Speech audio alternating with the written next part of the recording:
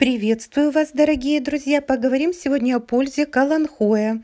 Но я вам рекомендую проконсультироваться и выяснить у врача, возможно ли применение каланхоя для вашего здоровья. Вы должны удостовериться, что у вас нет аллергии и непереносимости.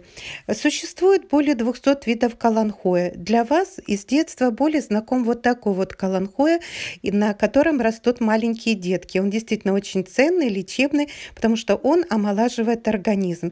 Еще нам знаком каланхоя в том, что всего лишь капелька этого сока помогает нам излечиваться от насморка. Но, повторяю, консультация врача обязательна.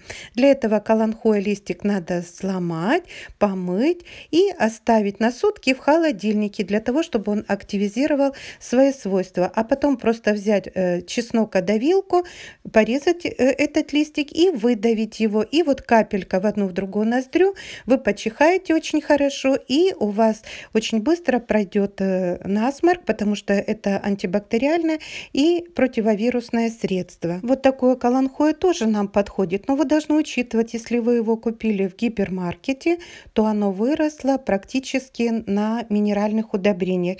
И это очень для нас неблагоприятно. Поэтому мы говорим о растениях, которые у вас растут только в доме.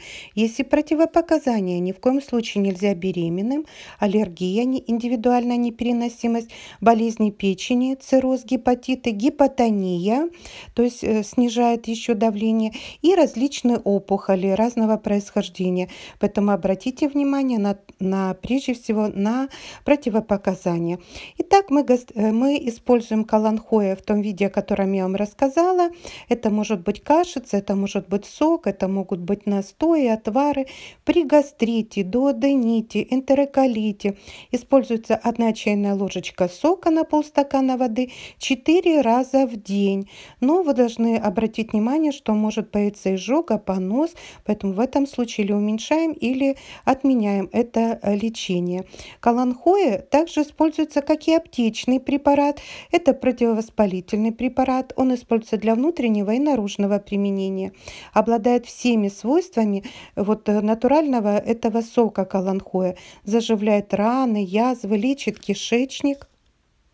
Поэтому, может быть, есть смысл купить уже готовый э, каланхоя сок в аптеке. Э, также излечивает кожные проблемы. Используем при заболеваниях стоматита, это десна. Используем гастрит, колит. Для лечения вен очень хорошо смазываем вены наружно. Ожоги, гнойные раны. Помогает лечить болезни желудочно-кишечного тракта, гинекологические заболевания. И используется как параллельно средство для лечения туберкулеза. Э, очень различные используем э, э, настои, экстракты, сок непосредственно. И его хорошо использовать также в сочетании с другими средствами, с другими травами. А можно также с федотерапическими процедурами. И даже если вы принимаете антибиотики, добавьте каланхоя в схему лечения, это будет очень хорошо. Повторяю, что каланхоя обязательно листики надо сорвать сорвать, промыть, положить минимум на сутки в холодильник и только потом использовать как кашицу, как сок, как мазь. Это будет очень важно. Если вас интересует рецепт при варикозе, то тогда или соком, или мазью из каланхоя натираем ноги снизу от ступней до колен. Э, каланхоя излечивает панорицей, такое сложное заболевание, грудницу, мастопатию, используется при гингивитах, гнойных воспалениях на коже. Можно просто листья, которые пролежали в холодильник, нарезать, наполнить ими пол-литровую баночку, залить сверху спиртом или водкой, настаивать в темном месте 10 дней, встряхивая, закрыть и потом использовать как наружное применение. Можно использовать точно так же мазь, использовать любые жиры в арсенале. Мазь хранится достаточно долго и тоже для наружного применения очень хорошо. Помогает снимать боли, очень эффективно при обморожениях. Э, если есть чири, пролежни, трофические язвы, а вот косметологи успешно применяют каланхоэ при лечении угрей и пятен на лице.